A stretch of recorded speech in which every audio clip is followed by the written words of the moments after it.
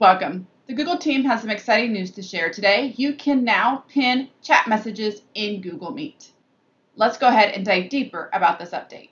As you can see, I'm currently in Google Meet, and I have already posted an important chat message inside the chat window.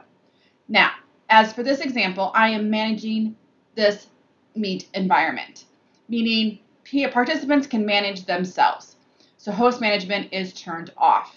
So there's a slight difference when you have host management turned on. You have more capabilities of pinning other messages and participants. But again, in this example, everybody gets to manage themselves. So with this, I'm going to go ahead and hover over this very important message and I'm going to select the pin message.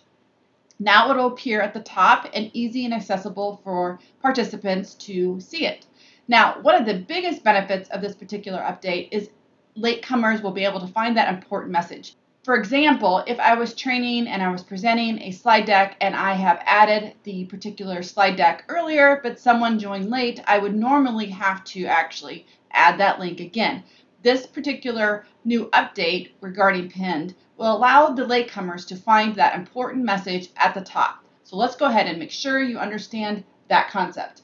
So trainer 13 is going to join late to this meeting.